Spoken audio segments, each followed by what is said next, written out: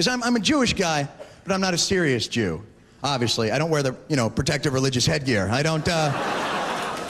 It's called the yarmulke, by the way. Not a Jew beanie. Why do you have to wear on your head to prove you're religious? Every religion's got these bizarre wardrobe idiosyncrasies. Look at the Pope. Nice man, but purely in a fashion sense, guy's a hat choice away from being the Grand Wizard of the Ku Klux Klan.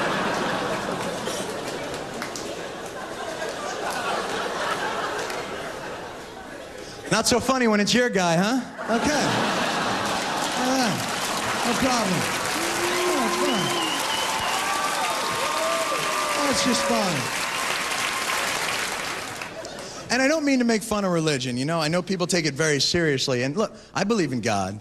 I just think maybe God's not watching out as closely for us as we might think. I mean, look, He created the world in what, six days? Five billion years ago. Don't you think by now He's moved on to another project? Do you ever think we're just something he threw together for his third grade science fair in the first place?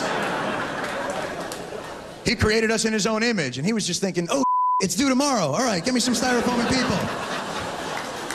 I mean, look, look at the way we celebrate the holidays. We always, we're a little goofy about the celebrations. I mean, look at Easter.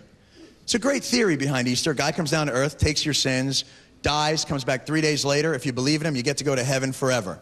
That's pretty cool. So how do you go from that to hide the eggs? How the did hide the eggs get in there? Did Jesus have some sort of a problem with eggs? Hey, by the way, when I come back, if I see any eggs, no, I'm serious. No, I am allergic. Please. I don't give a paint them and hide them. Just get them out of my sight. What is the significance between Jesus and eggs? I've actually been thinking about it. How many disciples did Jesus have? Twelve. How many eggs are in a carton? Coincidence? I don't think so. Open up a carton of eggs. One of the eggs is always cracked. The Judas egg. And but not that being Jewish follows any better logic. Here are the rules of being Jewish, as far as I can tell. Thou shalt not kill. Thou shalt not commit adultery. Don't eat pork. what was that last one? Uh, don't eat pork. God has spoken.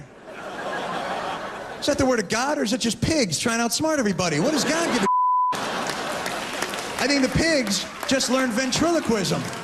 Some guy's coming at him with a hatchet and the pigs are in there. Uh, this is God. Get away from the pigs. They're not they're not kosher. Is that a word? Shut up. They'll believe you. Uh, they're not kosher. Look at those cows. They look pretty tasty.